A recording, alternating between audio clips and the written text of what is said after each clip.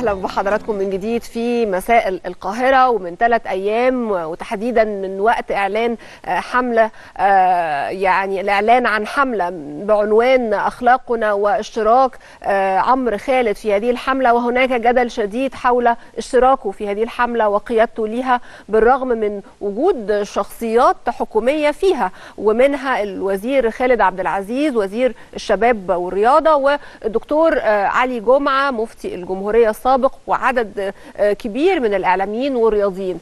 سبب الجدل ده هو وجود عمرو خالد في هذه الحملة ومش بس اتهامه بأنه عضو في جماعة الإخوان المسلمين وأنه كان من أشد المنتمين لهذه الجماعة الإرهابية وأنه تأييد هذه الجماعة من قبله ظهر بشدة منذ أحداث 25 يناير وحتى وصولهم للحكم ولكن اتهامات أيضا لعمرو خالد بالتلون. وشفنا مقالات وامبارح ناقشنا مقال للكاتبه الصحفية الأستاذة نشوى الحوفي التي تحدثت من عمرو خالد الذي تتحدثون عنه أي عمرو خالد فيهم. اذا يعني جدل شديد حول اشتراك عمرو خالد الذي أعلن بعد ذلك اعتذاره عن الاشتراك في هذه الحملة وكلام كتير عن دكتور عمرو خالد للدرجة اللي جعلت البعض بيرجع آآ آآ تاريخه لسنوات سابقة حينما كان عمرو خالد في بريطانيا وعلاقته بالمسؤولين هناك. النهاردة أنا زي ما وعدت حضراتكم هفتح الملف وهسأل هل الدكتور عمرو خالد قادر على قيادة حملة أخلاقنا أم أنها محاولة منه للعودة للمشهد مرة أخرى؟ هل حملات النقد اللي بيتعرض ليها هتنجح في إقصائه عن حملة أخلاقنا وعودته للاختفاء عن المشهد مرة أخرى؟ أم أنه سيعود قويا أو ربما أقوى من ذي قبل؟ كمان هنعرض كل الآراء حوالين حملة أخلاقنا اللي بيقودها عمرو خالد أو اللي كان يعني هو موجود فيها ولكنه اعتذر عن الاشتراك فيها مع ضيوفي الكرام اللي منورينا في استوديو مساء القاهرة. دكتور خالد رفعت مدير مركز طيبة للدراسات.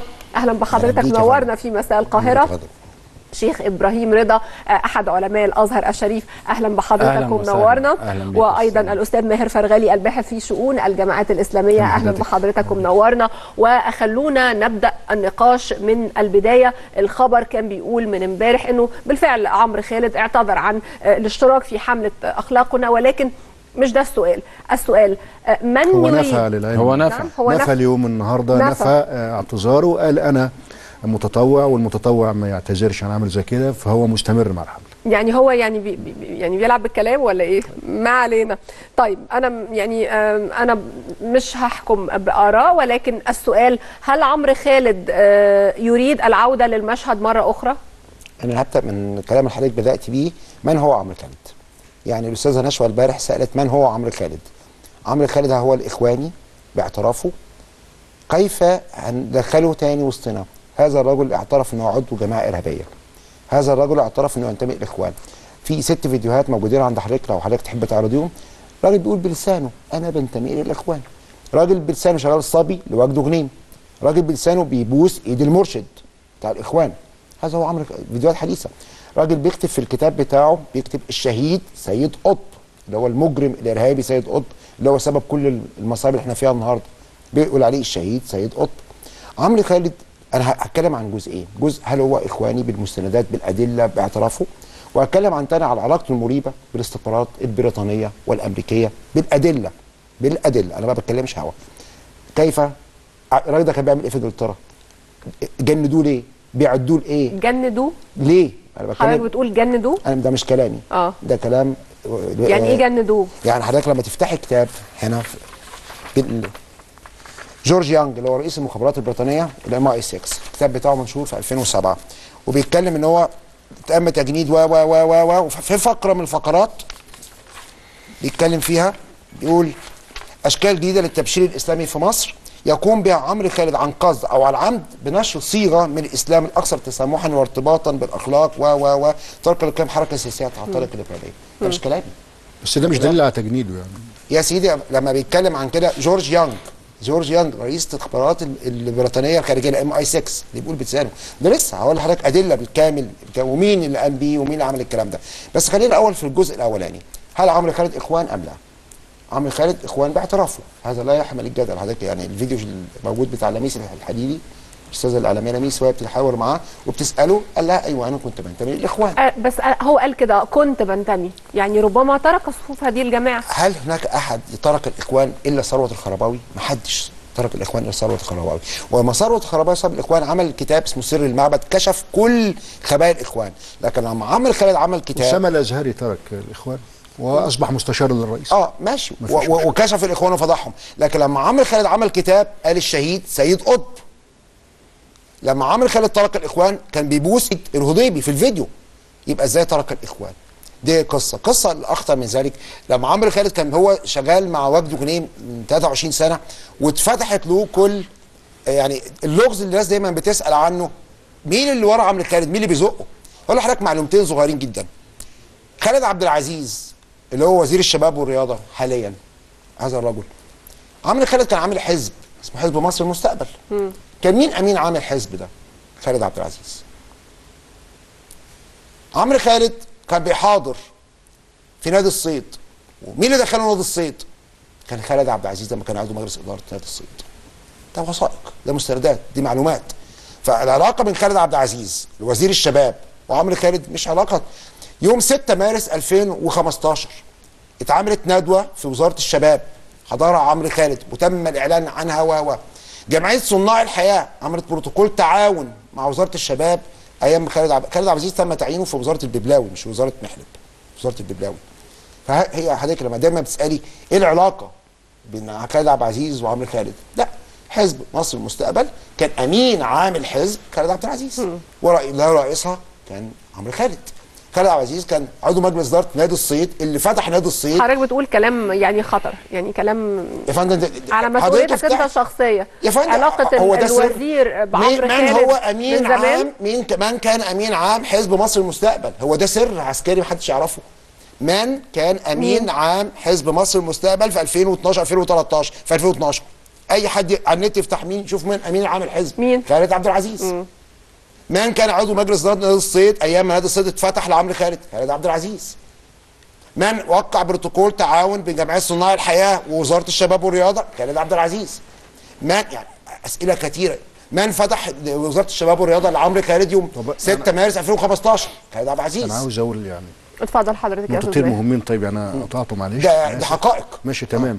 يعني في نقطتين مهمين يمكن يكشفوا لنا العملية شوية. أول حاجة كواليس ما حدث عشان تحصل حكاية يعني حملة تخلقونا إيه اللي حصل بالظبط؟ عشان اتفضل. تحصل الحملة. ده يمكن هتوضح بعض النقاط. النقطة الثانية هي في موضوع عمرو خالد ذاته. إن إحنا مش أمام عمرو خالد واحد إحنا أمام آه 10 عمرو خالد 20 20 عمرو خالد. عمرو خالد ليس شخصية واحدة أكثر من شخصية. لكن عاوز اكد على نقطة حتة الإخوان دي. مش عاوزين إحنا حتة الإخوان نأكد عليها جامد في حتة الانشقاق وال... لأن لأن ال... ال... شخصيات كتيرة جدا. كانوا في تاريخ مصر وليهم دور لعبوا دور هام جدا مع الدولة المصرية وكانوا تركوا جماعة الإخوان المسلمين. مش معنى إن أنا كنت في الإخوان سابق معناه إن أنا خلاص يعني. الشيخ الشعراوي آه، كان له دور في فترة من الفترات في حياته مع جماعة الإخوان المسلمين هو قال كده. ولكن ده على سبيل المثال الشيخ محمد الغزالي وغيره وغيره. فبعد كده الواحد بتحصل له تحولات فارقة في حياته بيصبح شخص آخر بطريقة أخرى. بالنسبة طبعا ده م- لا ينفي عن اخوانيه عمرو خالد لأن أنا ممكن أتكلم عن ده. لكن كواليس ما حدث في البداية في هذه الحملة أن عمرو خالد كان يريد العودة للاضواء منذ ثلاثة أشهر تقريبا آه، ما قبل الحملة كان بدأ يتواصل مع بعض الصحفيين والإعلاميين ويحاول ان هو يظهر اعلاميا. يتواصل يعني يعني يتصل ببعض يطلب إيه؟ يطلب من الصحفيين إنه يجروا معاه بعض الحوارات بعض اللقاءات يعود للأضواء مرة أخرى. كان الأغلب الصحفيين وبعض الزملاء يعني حكوا لي أنا شخصيا هذا الكلام رفضوا هذا هذه العروض يعني. آه، بدأ يفكر في طريقة أخرى. ففكر في هذه الحملة وعرضها على فضيلة الشيخ علي جمعة المفتي آه، ديار السابق. يعني هو وش- صاحب الفكرة. نعم. آه وعرضها على الشيخ أسامة الأزهري. الاثنين وافقوا عليها. بعد كده انسحب منها الشيخ اسامه الازهري خوفا من الاصطدام بمؤسسة الأزهر. الشيخ أحمد طيب لأنك أنت بتعمل حاجة موازية للأزهر. واستمر دعمها الشيخ علي جمعة ليقدمها كمشروع لتطوير الخطاب الديني للرئيس. مشروع جديد. أصل هم مطالبين طول الوقت تطوير الخطاب الديني. الخطاب الديني. ولكن هو عمرو خالد اللي هيطور الخطاب الديني ده؟ السؤال ده, ده سؤال هنطرحه في نهايه الحلقة. يعني فهو خدوا الفكرة دي وقالوا خلاص. فلما بعض الأطراف وبعض الناس قالت للشيخ علي جمعة قالوا له أنت الرجل ده كان إخوان قال لهم هذا الرجل جه قدامي وقال أنا كنت إخوان واعترف بإخوانيته لكنه تاب من الفكر الاخوان وبدأ يقدم عمرو خالد للدولة ويقدم هذه الحملة على اعتبارها أنها حملة لنشر القيم والأخلاق في المجتمع لتطوير الخطاب الديني. من هنا ظهر وكانوا اجتمعوا في الشيخ زايد للعلم في فيلا في الشيخ زايد. من هنا بدأت الحملة. دي ال ال الكواليس ما حدث. هو ال ال هنستفيد منها حاجة. نستفيد أن عمرو خالد صاحب الفكرة. تاني حاجة أن عمرو خالد كان يريد العودة للأضواء وعاد الأضواء من هذا الدور والشيخ علي جمعة اقتنع ب ب بالمثل اللي بيقول ما يم ما كان شرا بالأمس يمكن أن يكون خيرا اليوم وممكن النهارده نستفيد بهذا الرجل في موضوع آآ آآ يعني جمع الشباب. بدل ما هو يروح سلفي جهادي أو يروح داعش يروح لعمرو خالد أفضل. دي ده, ده, ده الوضع. بالنسبة طبعا لعمرو خالد آه، وإخوانيته وغيره عمرو خالد هو حصلته تحولات عمرو خالد ما قبل 25 يناير هو غير عمرو خالد ما بعد إزاي؟ 25 يناير؟ غير ما هو عمرو خالد. عمرو خالد كان في البداية إخوان مسلمين قدموا صفوة حجازي في مسجد المغفرة في آه، العجوزة وبدأ من هنا عمرو خالد آه، يظهر في الأضواء بعدما كان لاعبا في النادي الأهلي بدأ يشتغل في في الدعوة. وبشكل جديد شكل الرجل العصري الشاب العصري الشاب اللي هو مش متقلد بالتقاليد القديمة للمشايخ وظهر بهذا الدور آه، الرجل الناجح الرجل العصري. فظهر بهذا الطريق فلاقى قبول كبير جدا. آه، ظهر عن طريق رجل أعمال آه، في إحدى القنوات الفضائية. آه، بدأ آه، يلتقي بشخصيات زي ما التقى بالشيخ الهلايلة اللي هو مفتي ال- ال- القصر الملكي في الأردن وله صور موجودة. آه، بدأ يلتقي بشخصيات آه، سعودية وخليجية. ده كانت شخصية عمرو خالد في البداية إلى أن يصبح بيزنس مان في الإعلام ويعمل شركة إنتاج ده حتى قبل الثورة. قبل الثورة بقى- حينما شعر بأن حسني مبارك سيسقط ظهرت شخصية جديدة لعمرو خالد. شخصية الرجل الذي يقول أن آه، يعني النظام هذا سيسقط وبدأ يظهر كثوري مناضل.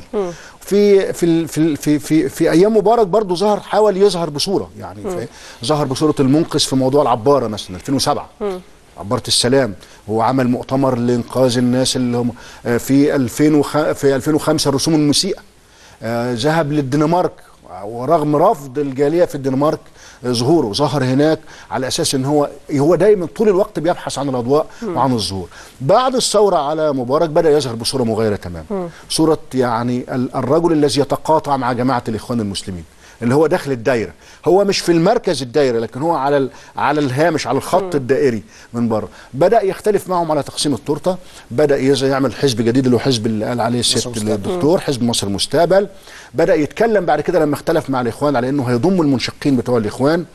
آه بعد كده لما لم يجد جدوى من ذلك أعلن حل الحزب بتاعه واختفى عن الأضواء إلى أن عاد بهذه الحملة المؤخره طيب. الاضواء مرة أخرى. طيب جميل جدا. أنا عاوزه بس أروح لشيخ إبراهيم لأنه آه، أستاذ ماهر قال آه، كلمة مهمة. قال إن هو حب يعود للأضواء آه، وكلم بعض ال- الصحفيين وبعدين لما ما حصلش تجاوب عمل ال- الحملة دي وقال إنه يعني بما إنه مصر كلها دلوقتي بتتكلم عن تجديد الخطاب الديني واننا في حاجة إلى تجديد الخطاب الديني ف عمل حملة أخلاقنا وراح بيها للشيخ علي جمعة.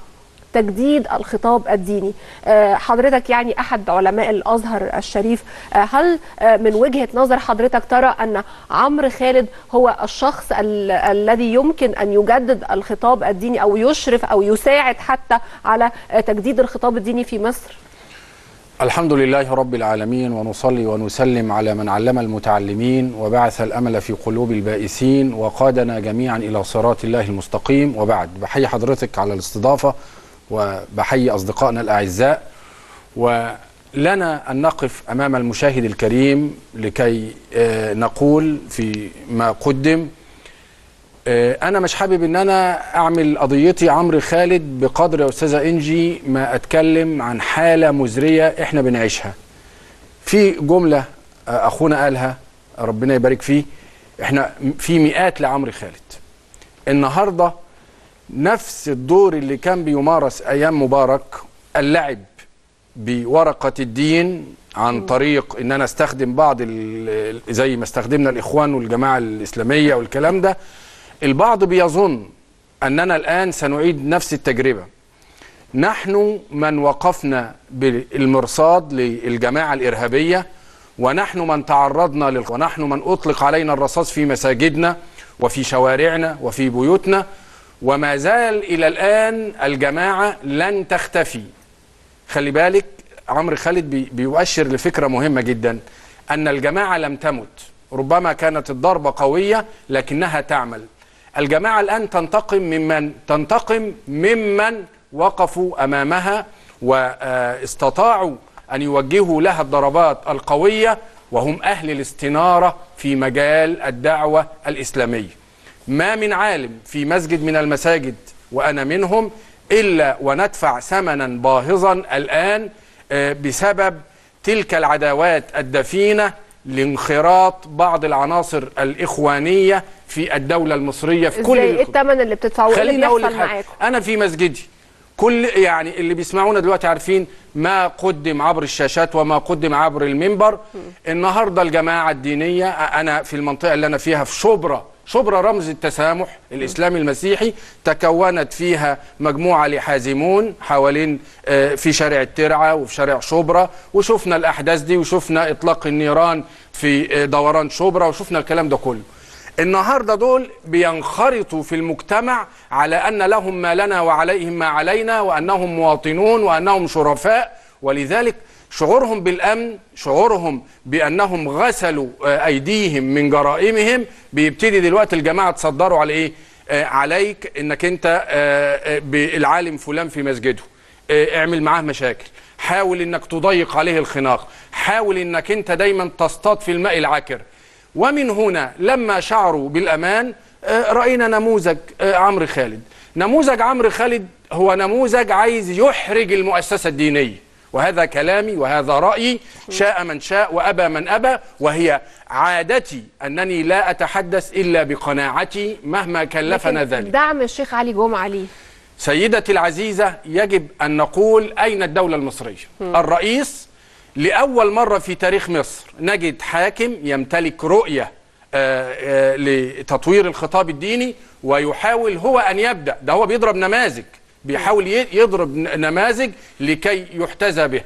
أن الإسلام يجب أن يكون قوة دافعة لكي نتحرك إلى الأمام.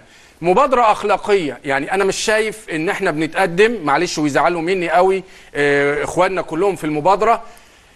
النبي صلى الله عليه وسلم كان صاحب مبادرة أخلاقية رفيعة المستوى كرست لفكر جديد من خلال تطوير المن الخطاب الديني كيف طور النبي خطابه الديني حاجتين اتنين. أول شيء أن النبي صلى الله عليه وسلم غرس غرس التنمية. لن تقوم لأمة محمد قائمة إلا بالعمل. آه، النبي صلى الله عليه وسلم لم يكتفي بأن حضرتك تقدمي الحلقة الليلة دي لا.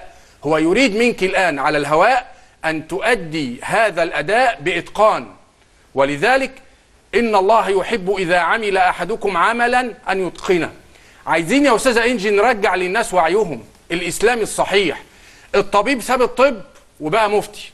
المحامي ساب المحاماة وبقى مفتي. المحاسب زي عمرو خالد ساب المحاسبة وبقى مفتي. الراجل اللي كان بيطلع أنفار وكان بتاع تراحيل زي صفوت حجازي بقى مفتي. عاصم عبد الماجد القاتل بقى مفتي. هنا إيه اللي حصل؟ النبي صلى الله عليه وسلم يقول إن الله لا يقبض العلم انتزاعا. يعني الأمة مش هتنام وتقوم الصبح تلاقي العلم انتهى. ولكن يقبض العلم بقبض العلماء. حتى إذا لم يبقى عالم اتخذ الناس رؤوسا جهالا فسئلوا فأفتوا فضلوا وأضلوا. الأمر الآخر اللي اعتمد عليه النبي صلى الله عليه وسلم في تطوير الخطاب الديني التصدي للخرافة. كلنا فاكرين الموقف الشريف يوم أن مات إبراهيم ابن النبي. حدث من باب القدر اللي إحنا بنسميها المصادفة بالتعبير الدارج. ها إن الشمس كسفت. طبعا كان بوسع رسول الله ان هو يقعد ويفرح لأن الناس بيقولوا إن السماء والأرض حزينة عشان إبراهيم ابن النبي مات ولذلك الشمس مش طالعة النهارده. هذا الأب المكلوم الذي فقد ولده وفلذة كبده صعد المنبر وقال أيها الناس اعلموا أن الشمس والقمر آيتان من آيات الله لا يكسفان لموت أحد ولا لحياته. ومن هنا المنهج العلمي بيقول لي أن من يستطيع أن يقدم رؤية للخطاب الديني هم أهل التخصص أهل المجال. النهاردة في مزايدة على الأزهر الشريف نعم. في بعض مشاكل داخل مؤسسة الأزهر الشريف نعم. في صراعات دفينة بين الرموز الكبيرة نعم. علينا أن نعترف بهذا. ولكن أين الدولة المصرية؟ إزاي الدولة المصرية النهاردة؟ يعني أنا اللي أنا بشوفه في بعض الحلقات آراء بتخرج تقول هذا الرجل مارس السياسة خلاص يبتعد عن المجال الدعوي. لكن أن تكون حملة بهذا الكم من التجييش وها والدولة المصرية تظهر في الخفاء ثم يتصدر تلك الحملة من هم أبعد الناس عن التخصص فتلك هي المصيبة. أنا مش قضيتي بقى أن هو فلان الفلاني لا. قضيتي أن هناك أمثال هؤلاء أو أمثال هذا الرجل كثيرون الآن ينتشرون بيننا. بيتعمل لنا نوع من أنواع التخدير. نسينا اسم كرداسة. واللي حصل للضباط والعساكر. نسينا السحل. نسينا إن الفتوى لما بتطلع من غير المتخصص بتقضي على أمة. الطبيب حين يقوم بإجراء جراحة حين يقتل فخطأ فهو يقتل مريض واحد. أما من يتصدى للإفتاء فهو يقضي على أمة بأسره. لولا جيش مصر ولولا أن قيد الله لنا رجلا احتكم إلى ضميره وإلى دينه وإلى ربه فحاول أن يخلص الأمة مما آآ آآ أصابها. انظري شوفي النهارده. شوف فاكرة محمد حسان لما وقف في القاعة وقام قايم بأعلى صوته قال لابد أن نتخلص من الأنجاس؟ هي كلمة اتقالت. الأربعة الشيعة آه، اتسقف. سق- تخيلي حد قاعد في بيته سقف بيته يتخرم وينزل عليه جحافل من أهل الإجرام يقتلوا ويذبحوا ويبتدوا يسحلوا الناس في الشوارع. إحنا يعني ماذا نريد لهذا الوطن؟ هل نريد لهذا الوطن أن يتقدم تعالي للنبي صلى الله عليه وسلم؟ مش هنقول الأزهر. سيدنا النبي بيشبه حال الأمة بمجموعة من الناس استهموا سفينة يعني ركبوا في سفينة فالنبي قسمهم لنصين. فأصاب بعضهم أعلاها وأصاب بعضهم أدناها الجماعة اللي في أدنى السفينة كل ما يعوزوا يشربوا يطلعوا واحد يشيل جردل يجيب مية فطبعا واحد لأنه غير عالم وغير فقيه قال إيه؟ قال إحنا لما بنعدي على الجماعة اللي فوق كده بنحرجهم. هلا خرقنا في هذه السفينة. خرق. ده إحنا قريبين للمية عن اللي فوق. ها. سيدنا النبي يعلق على المشهد ويقول فإن تركوهم وما أرادوا هلكوا وهلكوا جميعا. وإن أخذوا على أيديهم نجوا ونجوا جميعا. أنا حابب الحلقة الليلة دي تتوجه للدولة المصرية لمن بيدهم الأمر نقول لهم أين أنتم مما يحدث الآن؟ أين أهل التخصص؟ عشان بس يعني إيه يبقى كلامك واضح بالنسبة لنا كلنا. حضرتك موافق على حملة أخلاقنا؟ الحملة طيبة آه. لكن لكن أن يتصدر الحملة آه هقول لك على حاجة. أنا ليه مش موافق على عمرو خالد بصراحة؟ ليه؟ ليه؟ لأني أنا كع... لو اعتبرت نفسي عالم وهو ليس كذلك أنا يحرم علي أن أنا أعمل إعلانات لقنوات فضائية. يعني لما تطلع فاكره أنت الأسلاك الاشتراك اللي كان بيدفع للشيخ صالح كامل؟ لما يجي الاعلان بتاع القطة وبعدين الراجل يقول خلي بالك القطة بتعرف الحلال من الحرام. ما تسرقش السلك. لما يجي رئيس أو صاحب القناة نفسه يحج. ها فيطلع الراجل اللي هيتصدر الشكل الوطني ده ده ده ده ده, ده واعظ خاص. ده داعية مدفوع الأجر خاص.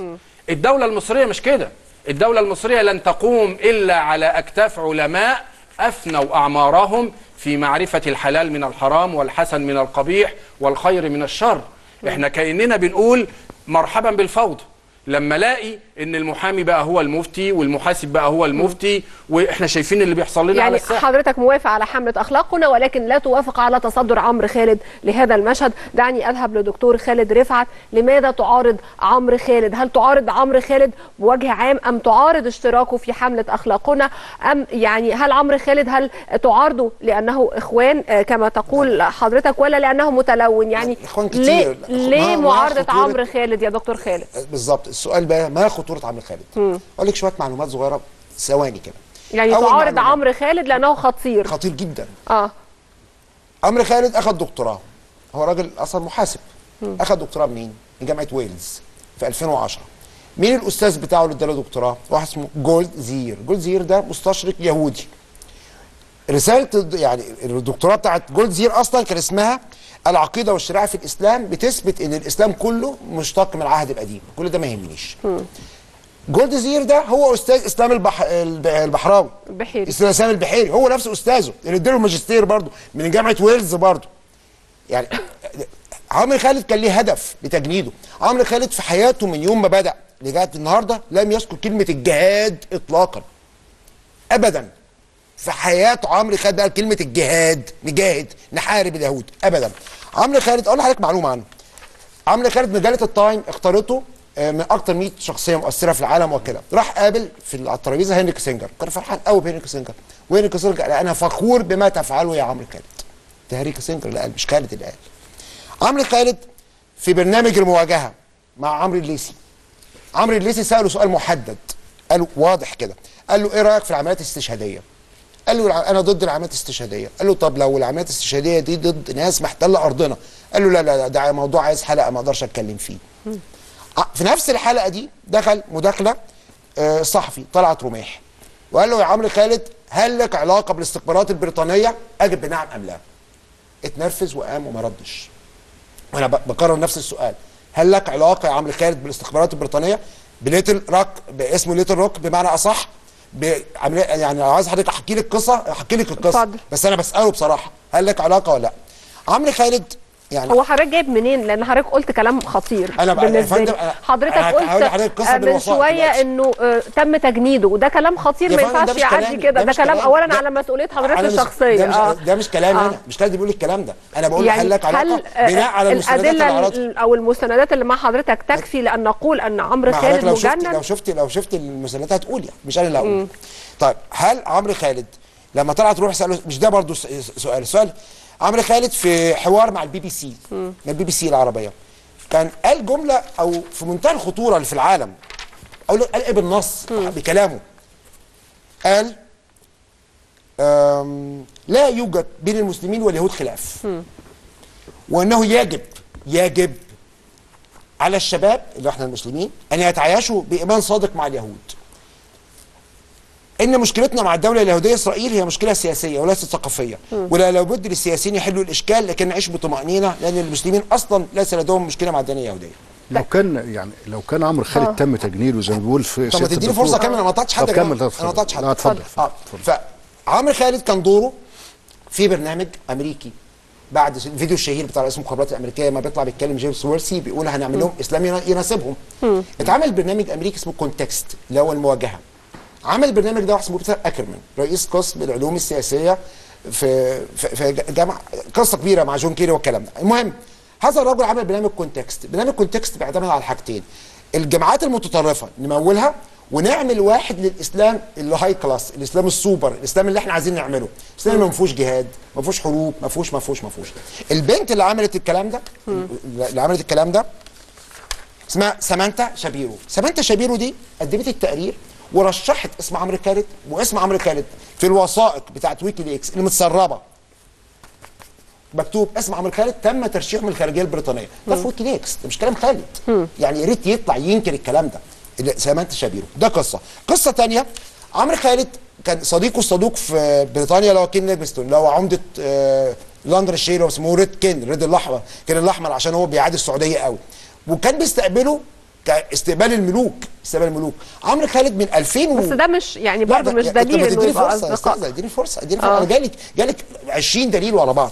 عمرو خالد يعني بكلامه بتصريحاته اللي عمل بقى القصة دي كلها وعمل منظمة Right Start في بريطانيا بعد ما مشى من مصر عمل منظمة اسمها Right Start في بريطانيا. Right Start ولا Right Step Right Start اسمها Right Start مش آه. Right Step آه، منظمة Right Start في بريطانيا دي حتى لما أقول لك حاجتين آه، يعني قرائن.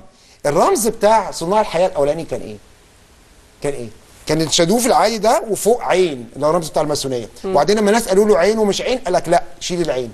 قام كتب صناع الحياة وقام حط فوق عين حرف العين برضه العين اللي هو الرمز بتاع الماسونية. يعني بيضحك علينا. عمرو خالد اتعملت إزاي Right Start في بريطانيا؟ يعني يعني عمرو خالد ماسوني لا يعني؟ مش ماسوني. م- امال نفس الفكر إيه؟ آه. الماسوني نفس الفكر آه. الماسوني هو جماعة الإخوان هي مش جماعة ماسونية في الأصل يا جماعة؟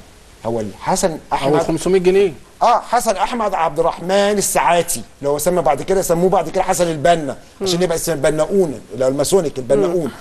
ال 500 جنيه دي اللي دفعتهم مين؟ لا دفعتهم هيئة قناة السويس اللي كانت بتاعت ال- بريطانيا. دفعتهم هيئة قناة السويس لحسن البنا أو حسن عب- الساعاتي. ده كان اسمه كده.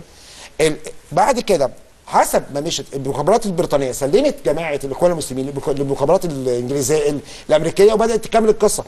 دايما في التنظيمات الإرهابية السرية بيبقى في plan A و plan B خطة بالاضافه زي عندنا حضرتك لسه بتتكلم في جماعة الإخوان جماعة الإخوان لما عملت التنظيم العادي بتاعها كانت عاملة تنظيم موازي كمال الهباوي وعبد الفت- عبد الفتوح ومش عارف مين ومين ومين ومختار نوح و و تنظيم موازي. عمرو خالد كان بيشكل زي ما حضرتك قلت أو زي ما حضرتك قلت بالظبط اللي هو إخوان بلا عنف. أحرار الإخوان. بدأ يعمل تنظيم موازي عشان ال- التنظيم ده اتحرق فبيعمل تنظيم آخر. هو ده الفكر في جميع التنظيمات الإرهابية. طيب عاوزين بس نشرك مشاهدينا معانا وهنستكمل ال- الحوار وهرجع لحضرتك علشان ترد على ما تريد التعليق عليه. ولكن معانا أستاذ وحيد من الجيزة. أهلا بيك اتفضل.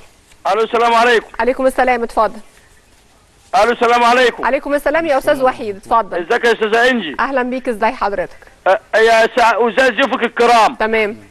أه، سعادتك يا أستاذة إنجي أنا مش مش مع الدكتور أه، عمرو خالد.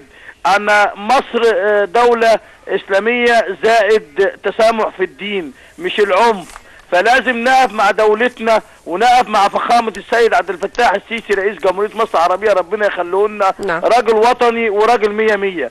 فأي حد بقى الدكتور عامر خالد إن هو بيقول لك إحنا مع حملة أخلاقنا هو كده كده مصر وشعب مصر راجل مح... شعب طيب. ناس محترمين تمام. وشعب فاهم وإحنا سعادتك نأمل أنا ليا طلب يعني بعيد عن الموضوع شوية محافظ الجيزة النهارده نزل على أرض الواقع وما بيسمحش يعني راح للعماير بقرية جرزة وفي كوبري اسمه كوبري الشاح مخل للإزالة طيب. وما بيسمحش للمواطنين يعني نأمل ان محافظ الجيزة والكاميرا اللي كان معاه كان تصور المواطنين طيب. وتسجل مع أخطاء أستاذ وحيد وتشوف مشاكل صوت حضرتك. وصل. هو مش موضوعنا بس أنا. سبت حضرتك تتكلم علشان صوتك يصل. آه ارجع لزملائي في الكنترول بس ده يعني مش موضوع حلقتنا النهارده. آه معانا تليفون.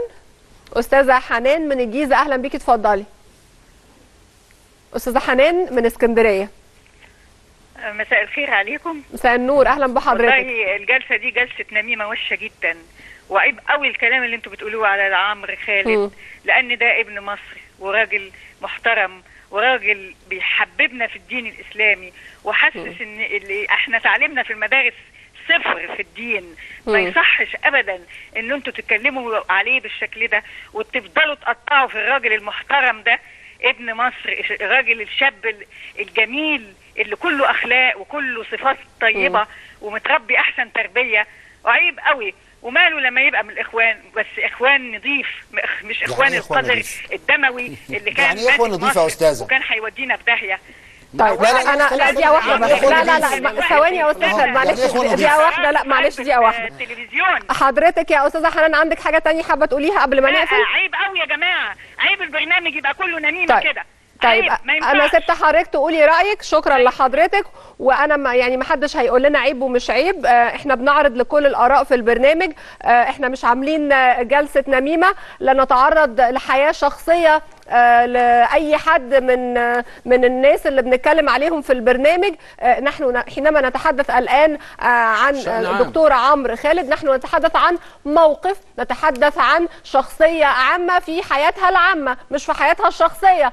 وشخصية عامة بيتأثر بيها الجمهور والشباب في مصر ده من حقنا آه، إحنا ما بنقولش كلام مرسل إحنا آه، يعني مستضيفين ضيوف كل واحد ليه وزنه في, مجاله وبنقول مواقف مسجلة بالصوت والصورة. آه، إحنا كبرنامج إحنا مش متبنيين رأي ولا متبنيين وجهة نظر ولكن بنسمع كل الآراء وكل وجهات النظر. إحنا في برنامج آه، ما بننمش آه، ما بنتكلمش عن حياة شخصية آه، لإنسان. آه، وما. نسمحش حد يقول لنا عيب ومش عيب. إحنا آه، سمعنا حضرتك حتى النهاية لأن إحنا ناس آه، يعني بنسمع الرأي الآخر زي ما بقول آه، لحضرتك.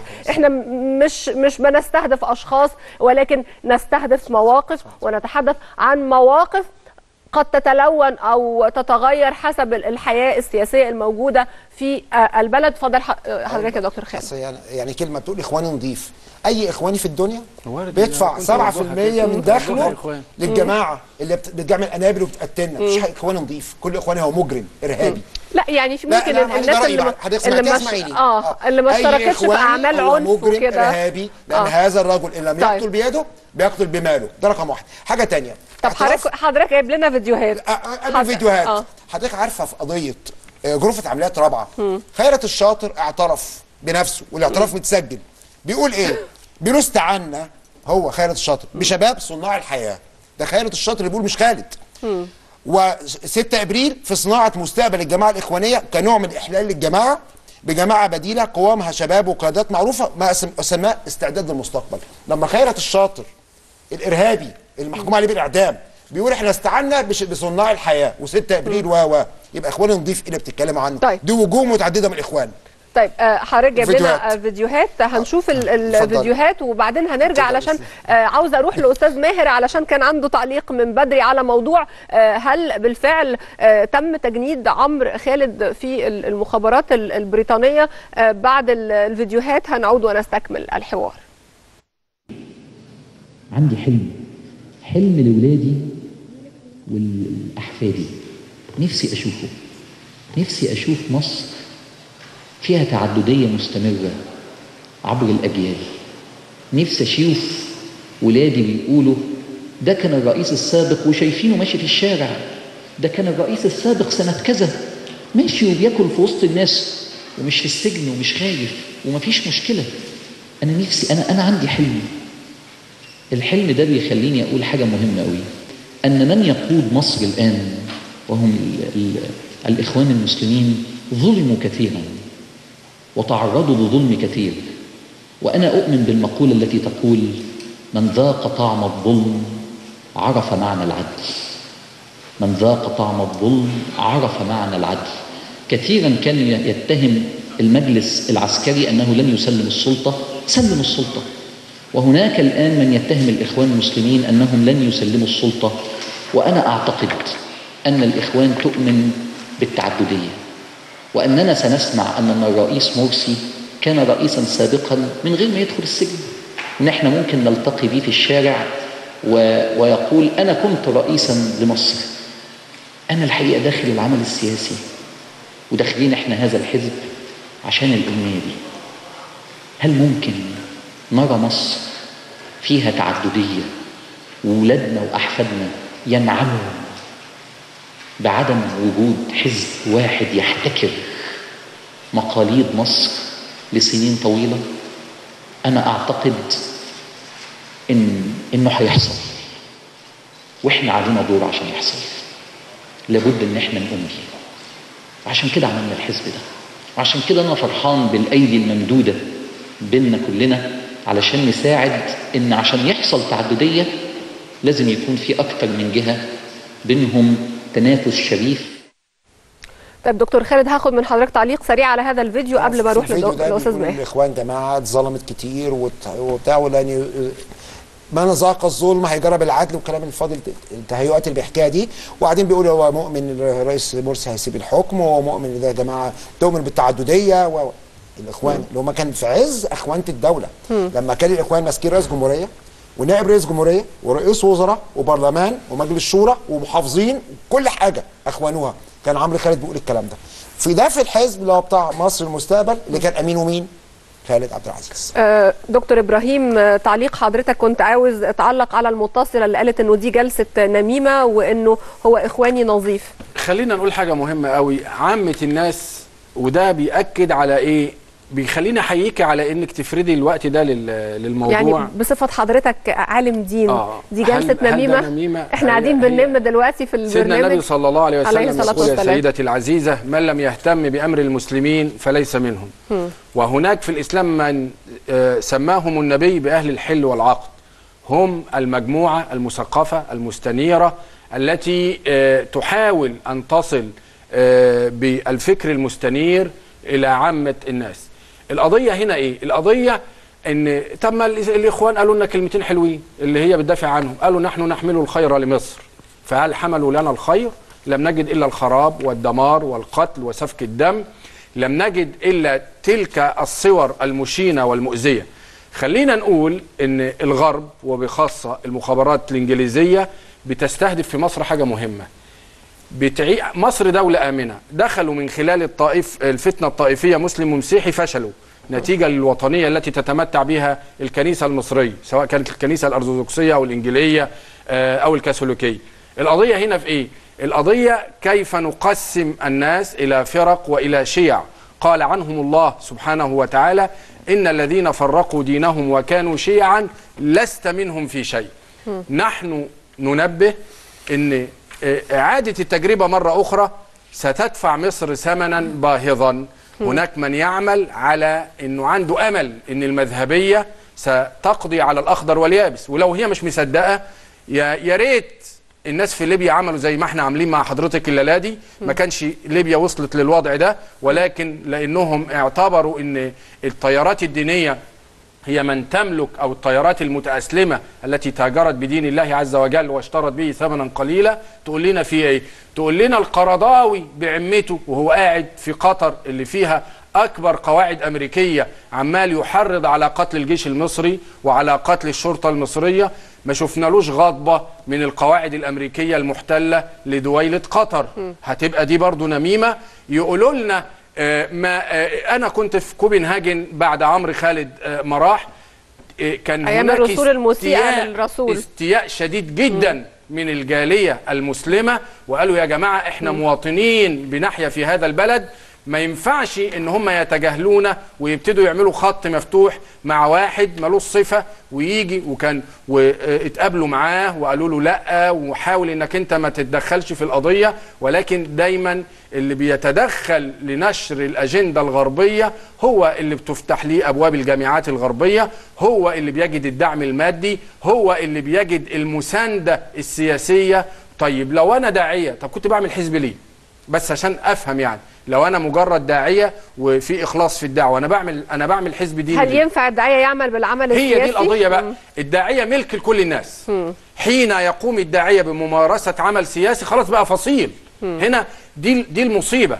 سيدنا النبي صلى الله عليه وسلم لم يصنف على إنه آه سلفي ولا ليبرالي ولا آه كذا ولا يساري. سيدنا النبي صلى الله عليه وسلم القرآن دايما يقول له إن عليك إلا البلاغ وما أنت عليهم بوكيل وما أنت عليهم بحفيظ لست عليهم بمسيطر.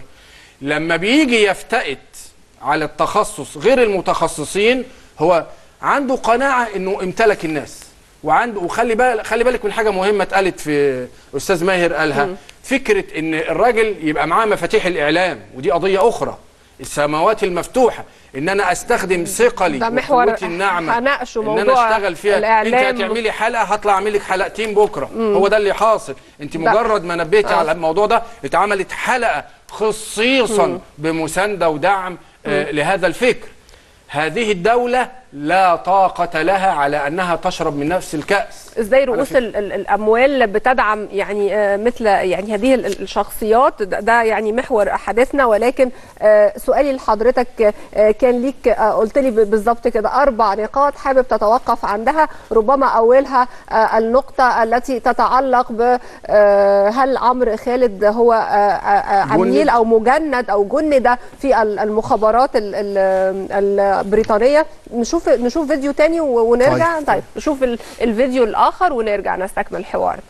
شايف إن في رؤية؟ طيب شايف إن في رؤية للنظام الحاكم آه، للفترة المقبلة ولا الرؤية لسه ما وضحتش؟ مفيش نظام حاكم له آلة تنفيذ ثقيلة وقوية زي الإخوان ملوش رؤية.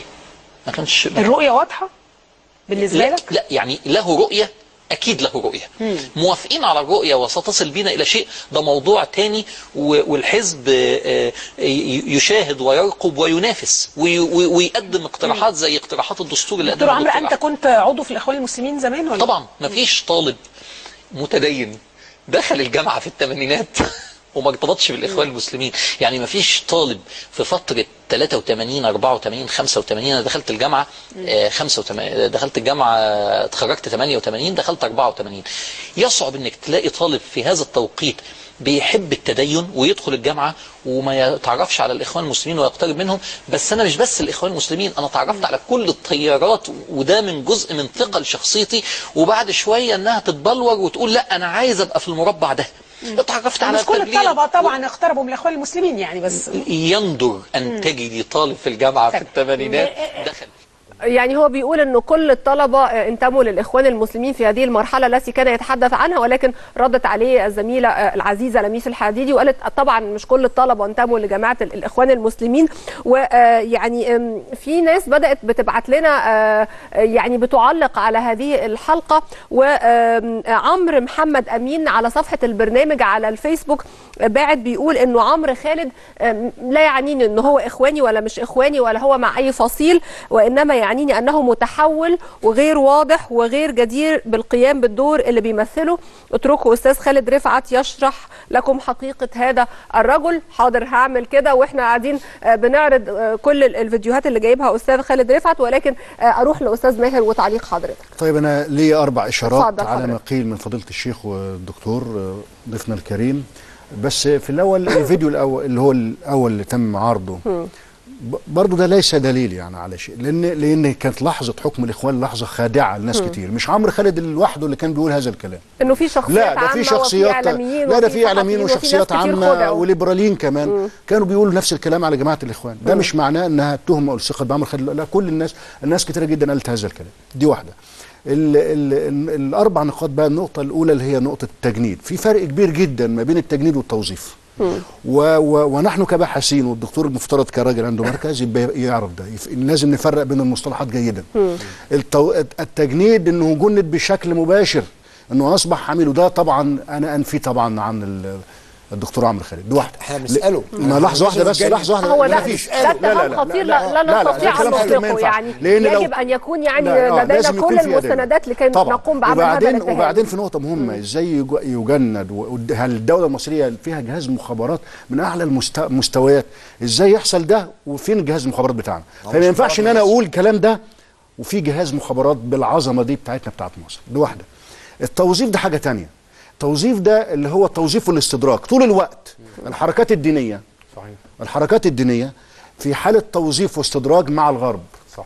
يعني زي تنظيم داعش مثلا على سبيل المثال.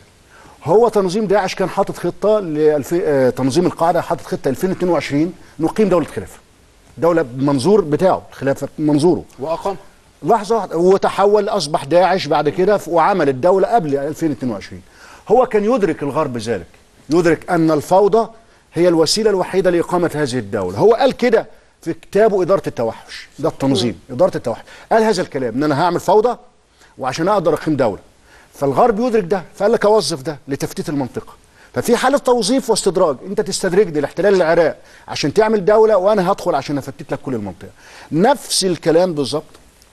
نحطه على الشخصيات منفردة مستقلة مستقلة. إن حالة توظيف مش معنى إن هنري هنري كيسنجر بي بيقول له أهلا بيك وسهلا أو بيمدحه معناه إن هو كده بي- بي- مخبر لمخابرات لا هي عملية توظيف واستدراك طول الوقت الجماعات الدينية تحاول أن تستدرج الغرب والغرب يحاول أن يوظف الجماعات الدينية حتى لو أفراد مستقلين دي النقطة الأولى النقطة الثانية في موضوع الخطاب الديني اللي تفضل به فضيلة الدكتور. الدكتور قال لي رؤية آه، أنا مش معترض عليها مطلقا، لكن هو له وجهة نظر. لا يوجد تعريف واحد ولا واضح لتجديد الخطاب الديني في مصر حتى. أتفق معاك. تمام؟ يعني الدكتور له وجهة نظر معينة. هتلاقي الأزهر له طريقة معينة في تجديد الخطاب الديني. لو سألت رجل الأوقاف العادي الإمام العادي أنا سألت وكيل وزارة الأوقاف بالمنيا بقول له يعني إيه خطاب الديني؟ هو مت- متصور أن تجديد الخطاب الديني هو مدح الرئيس. فالناس مش مت... في ناس بترى أن تجديد الخطاب الديني هو محاربة الفكر المتطرف. ناس تانية أن تجديد الخطاب الديني محاربة الأزهر. ناس تانية بترى تجديد الخطاب الديني هو تطوير مناهج الأزهر. ناس تانية بترى تطوير الخطاب الديني محاربة البخاري زي البحيري. ناس تانية بترى محار... ف- في تصورات مختلفة. أنا لو رأيت أن تطوير الخطاب الديني هو محاربة المؤسسة الدينية ممثله في الأزهر سأصطدم بالمؤسسة. وه- وهخسر. ولو رأيت أن تجديد الخطاب الديني هو تدمير كتب التراث فأنا مخطئ خطأ, خطأ كبير. التراث ليس مقدس ولكنه في, في نفس الوقت ليس مدنس. لا لابد أن أكمل عليه في أصالة وفي معاصرة. وسأصطدم أيضا بعلماء الدين وهتكون نهايتي زي إسلام بحيري. اذا تجديد الخطاب الديني من وجهة نظري المتواضعة إنه التنوير إنه الثقافة إنه تعليم الناس. منظومة متكاملة تعمل لنا التطوير. لا أصطدم لا بمؤسسة دينية ولا أصطدم لا بكتب تراث. ده تطوير الخطاب الديني. الحملة اللي هم عاملينها ده شيء تاني بقى. دي حملة أخلاق وقيه هنا لابد إن إحنا نفرق في الحملة دي. بين الحملة نفسها كمنظومة منظومة تدعو للقيم والأخلاق كلنا معاها. وأنا أول واحد بدعم هذه الحملة للعلم. لكن بالأشخاص اللي في الحملة هتجري في في الحملة. أشخاص رسميين. دكتور علي جمعة فضيله الشيخ علي جمعة وغيره وغيره وغيره من المؤسسة الدينية. ده ناس موجودين في الدولة. وزير الشباب والرياضة. يبقى اذا ناس رسميين. ناس مستقلين زي عمرو خالد ناس آه، الدولة نفسها من الخلف الناس إعلاميين بتدعم هذه الحملة. يبقى اذا الحملة مش كلها مش عمرو آه. خالد. الحملة آه، شخصيات متنوعة رسمية أو غير رسمية ودعاة مستقلين أو غير مستقلين والحملة منظومة قيم. نحن مع الحملة ولكن قد يكون لنا وجهات نظر في الشخصيات اللي هي مشاركة في هذه الحملة. طيب النقطة الأخيرة عشان ما أطولش على الضيوف نقطة. هل هذا كله تجديد الخطاب الديني يقضي على التطرف ويحتوي التطرف؟ لازم أكد لك على نقطة غاية في الخطورة وغاية في الأهمية. إن الدولة المصرية مش زي ما قال الدكتور إنها تمتلك رؤية في تجديد الخطاب الديني. الدولة المصرية حتى الآن لم تحدد أي رؤية من الرؤى في تجديد الخطاب الديني. السيد الرئيس لما طلع قال لعلماء الأزهر وقال للعلماء جددوا الخطاب الديني ما فيش نتيجة حتى هذه اللحظة. شفناش خطة واضحة لتجديد الخطاب الديني. تمام؟ الدولة لا تمتلك رؤية في التعامل مع الجماعات ال- ال- المسلحة والجماعات الدينية في مصر بما فيها جماعة الإخوان المسلمين. هناك رؤية تقول باحتواء جماعة الإخوان المسلمين. تمام؟ احتواء في جماعة الإخوان المسلمين الآن في فريقين متصارعين على الاستراتيجية وعلى المواجهة مع الدولة المصرية. فريق محمود عزت وفريق محمد كمال. تمام؟ اللي هو الهارب اللي هو المرشد للفريق المتشدد. ده راجل بيؤمن بالمجموعات النوعية ودول مجموعة تانية. الكلام ده الدولة عارفاه كويس جدا. هناك رؤية تقول الاستفادة بهذا الجزء ودعم. يبقى اذا دي رؤية. رؤية تانية الاحتواء. احتواء طيارات المنشقين. ناس من أجهزة الدولة الأمنية والأجهزة السيادية في الدولة تقول هذا الكلام. الرؤية الثالثة رؤية ال- الإقصاء المباشر والعنيف لكل الجماعات الدينية في مصر. دي مش بتعمل بيها الدولة المصرية. لأن الدولة المصرية ترى أن التيار السلفي ممثلا في حزب النور كان مشاركا في 30 يونيو. ولا بد أن أستفيد بهذا بهذا الحال و- وبتترك قطاع من التيار الديني. نعم. وت- وت- وتقصي تيار آخر وجماعة الإخوان المسلمين. إذا الدولة المصرية لا تمتلك لا رؤية لا في الإقصاء ولا في الاحتواء. والدليل على ذلك كمان ليبيا. يعني في ليبيا إحنا مختلفين. يعني في ليبيا كمان الجماعات الدينية. هتلاقي الجزائر بتؤمن باحتواء الجماعات المسلحة. وتتحاور مع جماعات فجر ليبيا. نعم. وهناك دول تؤمن بالحوار مع مجموعات فجر ليبيا اللي هي الإخوان المسلمين عشان تقضي على تنظيم داعش. تمام. وفي سوريا كذلك. والدولة المصرية تؤمن بالإقصاء. اذا الرؤية مختلفة. دي الأربع طيب، نقاط هاخد بس آه، مدام سوسن من القاهرة. هي مستنيانا بقالها فترة. أنا بعتذر جدا لحضرتك يا مدام سوسن اتفضلي. لا ما فيش أي حاجة. أنا بس هتكلم بسرعة في ثلاث نقط سريعة. أكيد. اتفضلي. آه، أول حاجة إن بالنسبة لعمرو خالد أنا كمواطنة مصرية وشفت الطريقة اللي دخل بيها عمرو خالد في المجتمع المصري وال... والطريقة الممنهجة اللي بوظ لنا بيها عقول الشباب. أنا مش بس بطالب إن هو ما يدخلش تاني في الحياة العامة المصرية لكن ده أنا بطالب إن هو يتحاكم على على كل التخريب اللي عمله في العقول الشباب. دي أول حاجة. ولا أوافق بتاتا إنه يظهر تاني تحت الأضواء في أي مكان في مصر. تاني نقطة اللي هي قال عليها الأستاذ ماهر تجديد الخطاب الديني. أنا شايفة إن تجديد الخطاب الديني يعني يشمل حاجات كتيرة من اللي حضرته ذكرها آه، في كلامه. يعني تجديد المناهج في الأزهر آه، تن- تنقية التراث الديني. لأن مثلا في أحد أساتذة الأزهر قال إن في ستين رسالة دكتوراه في الأحاديث غير الصحيحة في البخاري مركونة على الرف يعلوها التراب في الأزهر. لأن ما فيش ميزانية لطبعها. لكن أنا أعتقد إن مش حكاية ميزانية. حكاية إن هم مش عايزين يعني إيه حاجة تجيب لهم آه مشاكل أو نقاش آه بيريحوا عقولهم يعني من من الموضوع كله فسايبينهم آه فوق التر فوق الأرفف يعلوها التراب آه، وما بيطبعوهاش ويظهروها للناس علشان يحصل تجديد في الفكر الإسلامي. دي تاني نقطة. فتجديد الخطاب الديني بيشمل أشياء كتيرة زي ما أنا قلت لحضرتك. تمام. تالت حاجة أنا بعترض أساسا يكون في حملة اسمها الأخلاق في مصر. يعني دي إهانة للشعب المصري إن يتعمل حملة اسمها ليه ليه ليه. حضرتك شايفاها إهانة للشعب أنا المصري؟ شايفاها إهانة للشعب المصري شايفة إن إحنا يعني مش في حاجة لحملة زي دي؟ نعم. شايفة إن إحنا مش في في حاجة لحملة زي دي؟ لا أنا مش شايفة إن إحنا في حاجة لحملة زي دي. مش أنا مش شايفة إن في بعض الهنات يعني في في أخلاقنا وقيمنا. لا أنا شايفة إن في خلل. لكن مش إصلاحه بإني أعمل حملة أسميها أخلاقنا يبقى هو ده اللي هيصلح أخلاقنا. أنا شايفة إني أصلح منظومة التعليم تصلح أخلاقنا. آه، أصلح اقتصادنا وألغي العشوائيات تتصلح أخلاقنا. أعمل جناين وخضرة الناس تقدر تروح فيها في مكان نقي في نهاية الأسبوع تصلح أخلاقنا. انت عايزة تعالجي المرض مش العرض. يعني بترجعي للجذور. أنا بحيي. حضرتك يا مدام سوسن شكرا جزيلا لحضرتك وصلت فكرتك معانا. أستاذ محمد من القاهرة أهلا بيك اتفضل. أهلا. اتفضل يا أستاذ محمد. أهلا بيك يا فندم أهلا بيك. اتفضل. حضرتك انت أنا الحقيقة مش مش. ألو؟ مش راضي تماما على على الحلقة. إيه إيه إيه, إيه أنا بايد تماما الأستاذة اللي قالت في الأول دي جلسة فعلا جلسة نميمه مش ممكن مش ممكن واحد حلقة خاصة عشان تتكلمي على عمرو خالد في حملة أخلاق البلد شايفاها قدامك عاملة إزاي؟ وفي البلد منهارة اخلاقيا طبعا منهارة اخلاقيا حد يقدر يقول غير كده؟ طبعا الناس كلها متراجعة اخلاقيا. أمس كان عمرو خالد عمال أقول يا ترى إخواني ولا مش إخواني؟ يا ترى انت مسيحي ولا مسلم؟ يا ترى انت تبع السلفيين ولا مش تبع السلفيين؟ يا ترى انت انت مع الجيش ولا مع الشرطة؟ الشرطة وحشة ولا كويسة؟ إيه إيه إيه ده؟ إيه ده؟ إيه اللي إحنا بنعمله ده؟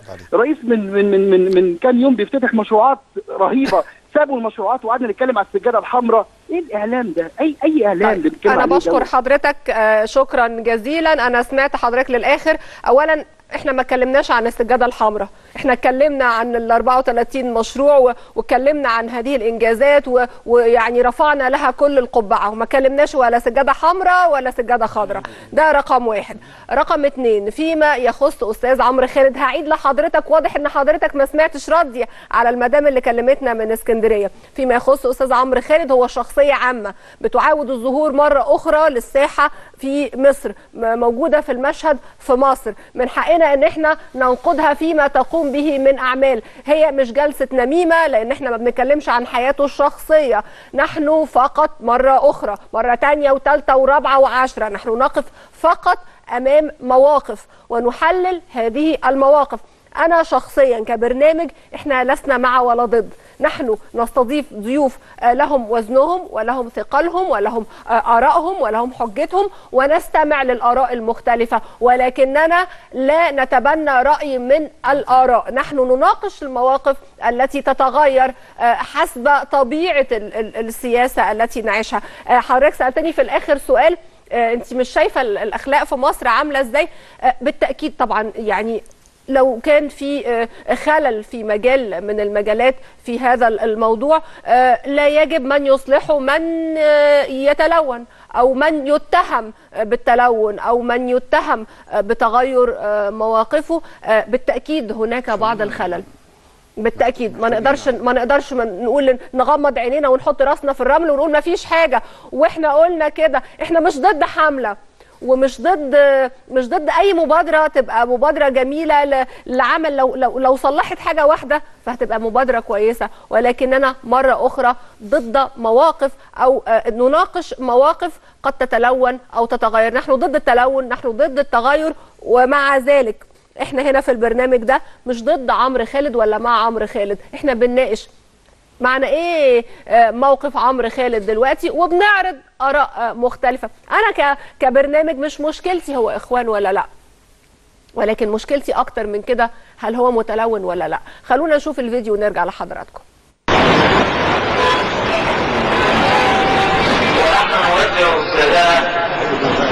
تنتهي بعض الشباب ولعل الكثير منهم لا يعرف الحامل في مصر ولكنها الرابطه القلبيه إنه الحب في الله. إنه الرابطة التي ربطت كل هؤلاء الشباب باساتذتهم وقادتهم. ثم نقول لهؤلاء الشباب كما ثبت الأستاذ محمد حامد أبو نصر سنين طويلة تثبتوا اثبتوا على الطريق أيها الشباب حافظوا على أصالة هذه الدعوة. اثبتوا على طريق دعوتكم. وإن مثل هذه الدعوة كشجرة طيبة أصلها ثابت وفرعها السماء تؤتي أكلها كل حين بإذن ربها. طيب آه، هذا هو أحد الفيديوهات يا دكتور خالد اللي حضرتك جبته لنا. العام للإخوان الهضيبي اللي عمرو خالد بيقدمه بنفسه في حفل تأبين المرشد العام للاخوان الهضيبي لما مات. آه مم. ده عمرو خالد في الآخر يقول لك أنا مش إخوان. لا مين اللي جنبه كمان؟ أه. آه، مجرم آخر.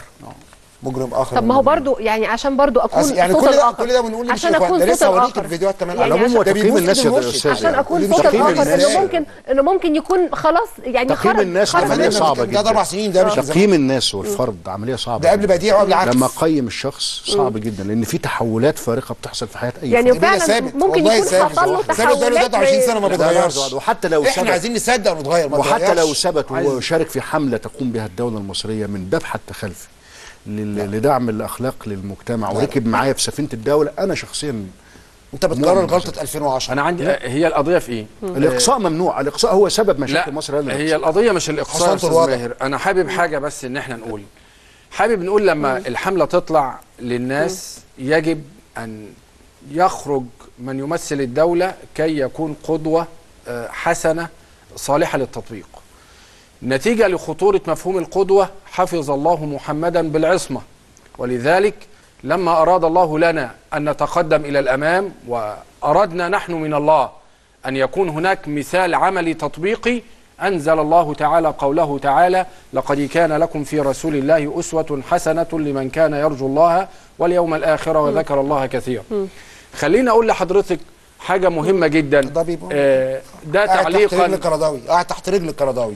تعليقا ده حديث كان من ثلاث سنين قاعد تحت رجل القرضاوي وفي يقول لك أنا يا سيدي. القرضاوي كان ياتي هنا كانت تفرش له السجاجيد الحمراء من معاك. يفرشها حتى في له يا الأزهر يا سيدي سيدي. من. يفرشها له. ليست هذه أهله. وعشيرته هنا لا لا لا يا سيدي كان في الأزهر يا الشريف سيدي في الأزهر نفسه كانت تفرش يعني له محترم. إمتى إمتى كانت هذه الصور في أنهي وقت ده بعد أربع خمس سنين بس مفيش قريب جدا يعني هذه الصور قريبة للغاية في أنهي وقت كانت القرضاوي بتفرش لا لا القرضاوي كان كان؟ في ع- في, في في عصر الإخوان لا لا, لا ما قبل الإخوان ما قبل الإخوان. ما قبل 30 الإخوان. فضلت يقول 30 لك لا لا. ما قبل. جماعة الإخوان المسلمين كان يدخل في. المؤسسة الدينية.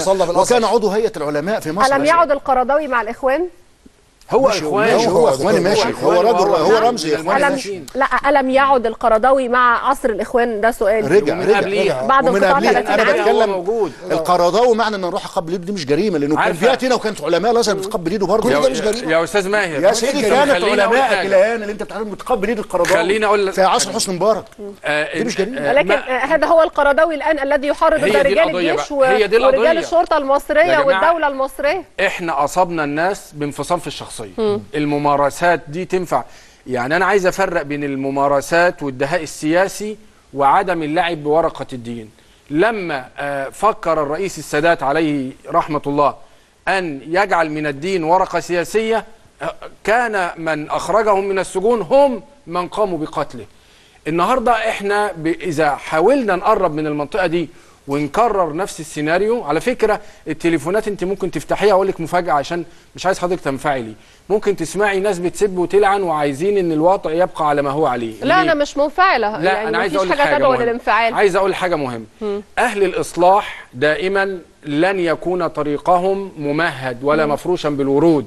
والحق دايما آه، يعني حاجة صعبة ثقيلة على النفس. أنا مش قضيتي يا عمرو خالد زي ما قلت لك من البداية. قضيتنا النهارده بناء دولة عصرية جديدة بمرجعية دينية مستنيرة. هي دي القضية.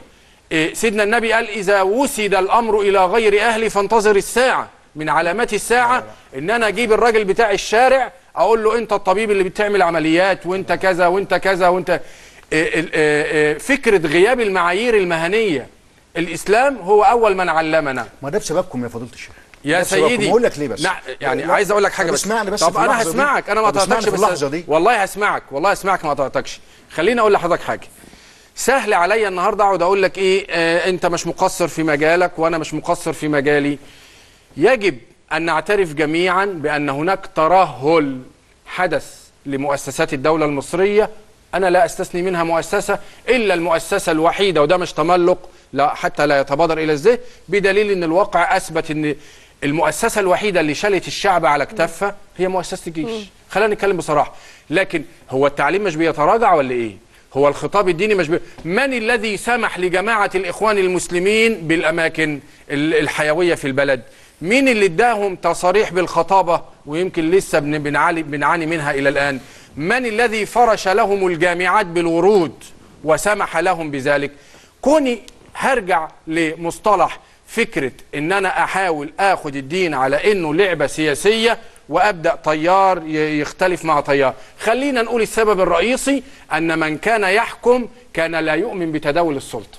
وأنا قلتها في برنامج مرة على الهوا قلت أنت الآن لما بنمدح في فكر لحاكم معين البعض يقول لك إيه؟ أصل ممكن يدهنوا يقولوا إن تجديد الخطاب الديني إن إحنا ندهن الرئيس. لا الرئيس لأنه مؤمن بتداول السلطة خلاص وهو عارف إنه ماشي ماشي وهو عارف انه هو بداية لمرحلة جديدة. النهارده ما هوش مؤمن بنفس القناعات القديمة اللي كان مؤمن بها آه، الرئيس مبارك.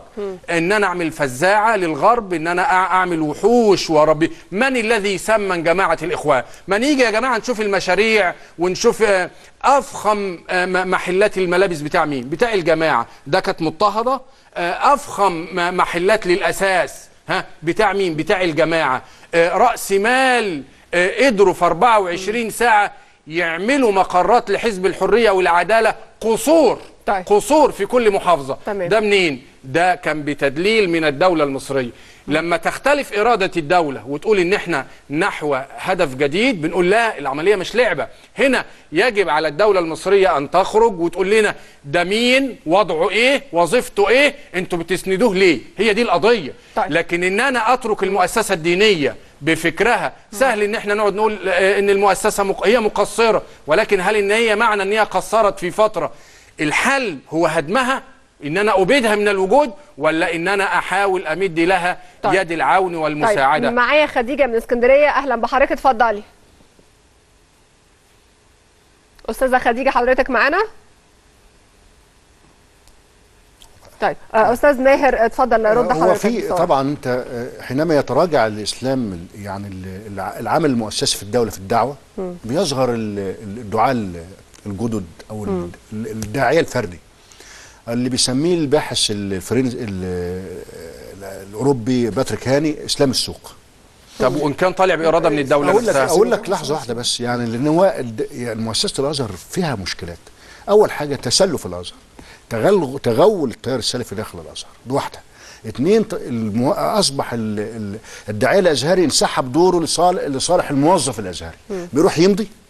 وبيمشي ما بيعملش دور الدعوة بقى يعني في في المسجد بتاعه وال- والمنطقة والكلام ده مش كل الناس. وقليل من عباده يا شكور في ناس طبعا شغالة في الكلام ده. فده الكلام ده كله أدى إلى بروز دور للجماعات الدينية في الهوامش وفي الأرياف وفي القرى واحتلالها هذه الأماكن. وظهور واحد في شخصية زي شخصية عمرو خالد. يبقى اذا أنت ما تعبش على عمرو خالد. عمرو خالد بيودي دور هو شايف إن هو بيودي دور صح. تعيب على نفسك إن أنت قصرت في أداء هذا الدور. ال- النقطة الثانية إن إن إن إحنا لازم نشوف في الأول نشوف الدولة رايحة فين ونمشي، يعني أنا أنا أنا أنا واحد يعني شايف إن الدولة المصرية لابد أن تحدد هي عاوزة إيه بالظبط من الحركات الدينية في مصر. ده ده سؤال مهم. خلونا نشوف الفيديو الأخير ونرجع لحضراتكم. سبحان الذي أسرى بعبده ليلا من المسجد الحرام إلى المسجد الأقصى وسيأتي ليأتي المسجد الأقصى ويسأل المسلمون ماذا فعلتم. فهذه المحاضرة يا إخوة وغيرها ليست من أجل الإعجاب ولا مصمصة الشفايف ولكن حتى نعود إلى بيوتنا ويأخذ كل واحد منا بورقة ويكتب ماذا فعلت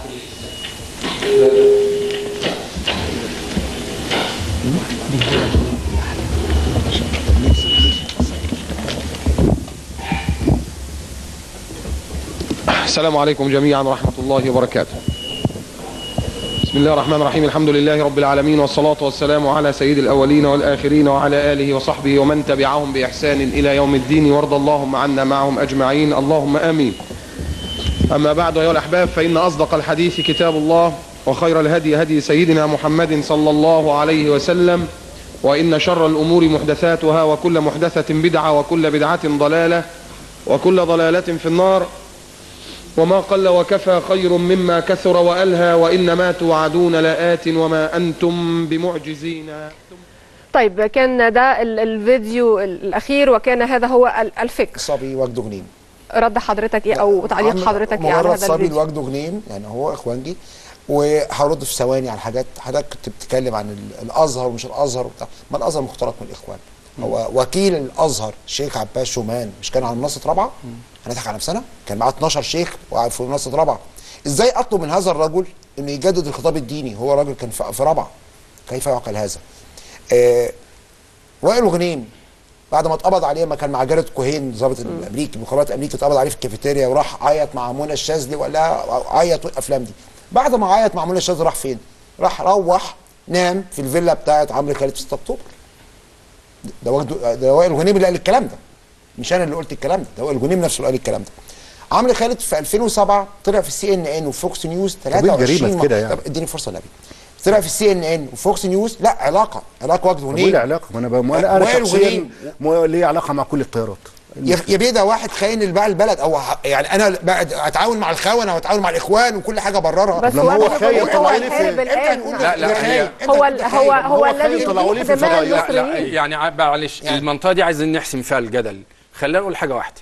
في فرق بين حريتي الشخصية أنا النهارده مش جاي أناقش الراجل ده بيعمل إيه هو حر. أنا صراحة أحب البحث لا لا لا لا في لا خلي لا. عمرو خالد له حر. لا هو له حر انه يبقى داعشي له حر انه يبقى مستنير وليك حق إنك تشوفه حلو وهو ليه حق. لكن أنا قضيتي مش دي الليلة دي.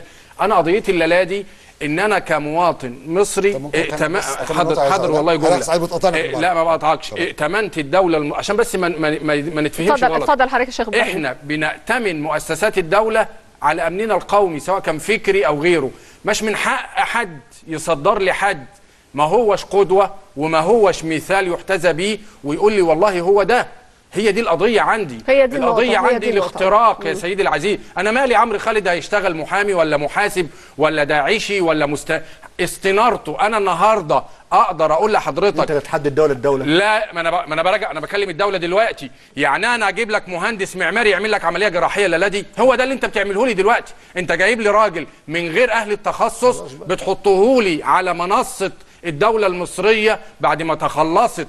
من ال... ال... القوة الغاشمة لهذا الإرهاب وبتقول لي من جديد تعالى هو ده النموذج اللي يحتذى بيه دي. قضيتي هل الإخوان المسلمين المعتدلين فيهم يجوز احتوائهم وإنهم يرجعوا كأفراد مين في اللي بيقرر في احتوائهم يا المجتمع فندم؟ ولا يا لا؟ فندم يا فندم أنا هقول لك ده حاجة السؤال المهم. طب السؤال أنا. هرد عليك هو بال- ما- لا هخلي الواقع يرد عليك أنا. أنا هخلي أنا الواقع شايف إن أنا أنت- هخلي الواقع يرد عليك مش أنا هو عاصم عبد الماجد مش جه لحضرتك وللدولة وتاب وأناب عمل فينا إيه بعد كده هي دي القضية. دي جريمة هي. يا سيدي جريمة ع... لا هي الفكرة. يا يا سيدي العزيز. الزمر ما قاعد الراجل عبود الزمر في حاله. لا هي دي لا دي القضية. هنحرقهم ونولعهم؟ في رابعة دي راحوها ناس يا كتير. سيدي. هنحرقهم أنا- أيضا الدولة لا ت- تقترب ممن لم يرتكب أي أعمال عنف يا يعني أستاذ جماعة يعني اللي ما ما ارتكبش أعمال. عنف هم قاعدين. سالمين يعني. جماعة الإخوان اللي في السجون واللي بره السجون ننسفهم وخلاص لا لا لا ونطلع- سيدتي العزيز. أنا أنا بفرق بين حاجتين. لازم يبقى في حل يا جماعة. التسامح السجون معلش تهمه بيه واجرام في حل برضه لا لا حل. لا لحظة واحدة في نقطة نقطة نظام مفيش حد في السجون معلوش تهمة طب واللي يطلع براءه تعمل معاه إيه بعد كده؟ يروح يا أيوه من فضلك. يمارس أنا ما إزاي؟ يمارس حد. سياسه ولا لأ؟ أنا ما قطعتش حد حضرتك مفيش حد في يا السجون أستاذ ماهر لا يوجد. معتقلين في السجون يعني كل الناس مقدمين لمحاكمات. اللي ياخد براءة، اللي ياخد إيه بقى؟ المحكمة بتحكم اللي عليه، ياخد براءة. خلاص هيمارس سياسة ويمارس يبقى عضو في المجتمع ولا لأ؟ طبعا آه خلاص خلاص يعني نتكلم يعني لو طلع عمل مثلا حملة زي عمرو خالد كده نسيبه ولا لا هل إحنا تنصل عمرو من خالد أم ال- لا؟ الأكبر من إنه هل هو قضية إخواني أم. لا لا، لا، هي دي القضية. هل هو متلون أم لا أنا قضيتي لا؟ قضيتي أن يظهر في حملة ترعاها الدولة هي دي القضية عندي لأنك أنت بتقول للشباب هو ده النموذج اللي يحتذى بيه أنت بتخلق يعني بتخلق تيار موازي للمؤسسات الرسمية. هي دي القضية عندي طب كلمه اخيره من حضرتك حضرتك. يوم 29 يناير عمرو خالد وقف في ميدان التحرير وقال أنا عندي 40 ألف واحد في الميدان دلوقتي تحت أمري. هل هذا دعايه دينية؟ هل راجل ده راجل دين وداعية؟ أم هذا تنظيم تنظيم ليه هدف وليه أجندة؟ حاجة أخيرة يعني لها وقت تاني. ال Right Start مجلس الإدارة بتاعها الورق اللي متقدم للحكومة البريطانية للإشهار مقدمه واحد اسمه يعقوب ميشيل. يعقوب ميشيل ده يهودي. يعقوب ميشيل عنده مؤسسة تانية اسمها منظمات المجتمع المدني ومؤسسة الطريق. مقرها الرئيسي اسرائيل ده بالورق وموجود على. صفحتي صور بالكلام ده كله. ده محامي يعقوب. محامي. وأنا رحت في لندن اديت طيب. للمحامي الورقة. مفيش أي مشاكل. يكون مقرها رئيس إسرائيل. مفيش مفيش أي مشاكل. طيب كل ده عادي برضه. يا جماعة لازم نقول الأمور بمسمياتها. هناك الدولة اللي. تحاسبه يا هذا تآمر الدولة اللي الدولة طردته من مصر يا بيه إحنا مش يعني بننسى التاريخ. هو مش عمرو خالد اتطرد من مصر؟ لا لم يطرد هو نفسه قال إنه مطرود. هو قال كده وقال إنه اتطرد. 1000 2002 ما اتطردش و1000 2007 انه اتطرد. عمرو خالد ملوش لون. ممكن تمسكه من راسه يهرب بديله يعني تمسكه من ديله يهرب براسه هذه هي هو نفسه هذه هي هو نفسه قال كده. النقطة التي كنا نتساءل فيها أكتر من نقطة هل هو آه، إخوان ولا لا لا تعرفش هو هو على رأي الأقل هو. أعلن إن هو لا ينتمي آه، لجماعة الإخوان. وإحنا في الحلقة دي ما كناش بنفتش في ضمائر الناس ولا بننم على حياة شخصية لحد ولا يعني آه، بنقول هو مستنير ولا لا هو إخواني ولا لا هو سلفي. مش دي مشكلتي أكتر من آه، هل هو متلون ولا لا. لو إحنا بنعمل حملة عن الأخلاق. فيعني أهم حاجة الثبات عن ال- المبدأ. من الأقدر أن يكون عضوا في هذه الحملة؟ من الأقدر أن يقود هذه الحملة؟ من الأقدر أن تلاحقه الأضواء لكي يكون قدوة لكل آه، شاب أو كل شابة آه، في مصر؟ كان هذا هو السؤال بدون أن نأخذ موقفا. كنت يعني آه، بقدر الإمكان بسأل بطريقة الطرف الآخر أو يعني بطريقة الطرف الغائب. ولسنا طرفا في برنامج مساء القاهرة في هذه القضية. نحن لا نوجه سهامنا آه، لعمرو خالد ونحن لا نستهدف عمرو خالد. كل الاحترام لكل الأشخاص ولكن السؤال حينما نتصدر حملة بعنوان أخلاقنا من هو الأقدر لأن يتصدر هذه الحملة؟ أيضا أنا لا أقول هل هو آه، أو يعني لا أقيمه أنه أيوة آه، هو جدير ولا هو مش جدير. أنا طرحت هذا السؤال للمناقشة لمشاهدينا علشان يقولوا رأيهم لضيوفي آه، الكرام علشان يقولوا رأيهم. إحنا دايما بنختار يعني ضيوف ممن يعني لهم باع طويل في الشأن اللي إحنا بنتحدث فيه وهم مسؤولين عن آرائهم. آه، نحن نستعرض الرأي والرأي الآخر ومع احترامنا لكل الآراء وبنعطي الفرصة لكل الآراء إنها آه، تعبر عن آه، نفسها. حتى الآراء من المشاهدين اللي كانوا بيتكلموا بيقولوا إنهم يعني ضد مناقشة هذا الموضوع. أنا أفسحت الوقت كاملا ليهم ولم أقطع عليهم واديتهم فرصتهم إنهم يقولوا رأيهم. ولهم منا كل الاحترام. يعني لو أنتم مختلفين في مناقشة هذا الموضوع يعني يعني اتفرجوا على موضوع تاني. أنا بشكر آه، حضراتكم. شكرا جزيلا. دكتور خالد رفعت صالح مدير مركز طيبة للدراسات. شكرا لحضرتك. دكتور إبراهيم رضا آه، أحد علماء الأزهر الأجلاء. شكرا جزيلا لحضرتك. والأستاذ ماهر فرغلي الباحث في شؤون الجامعات الإسلامية. شكرا جزيلا لحضرتك.